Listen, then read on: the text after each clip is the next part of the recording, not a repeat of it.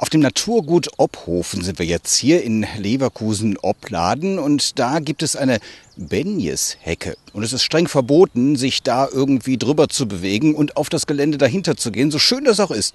Aber das ist Gelände exklusiv für Tiere. Äh, viel Tiere sieht man jetzt gerade nicht, aber wenn man sie beobachten möchte, dann soll man sich hinter die Hecke stellen und es ist verboten, über die Hecke drüber zu gehen und die Tiere zu stören. Also, damit die Tiere ihre Ruhe haben, man sie in Ruhe beobachten kann, hier ein ähm, Heckenverbot. Tja, Verbote, die gibt's überall.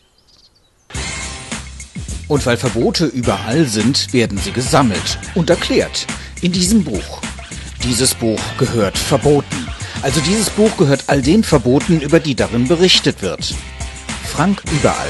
Es ist untersagt. Warum Verbote uns verwirren und warum wir sie trotzdem brauchen. Jetzt im Buchhandel.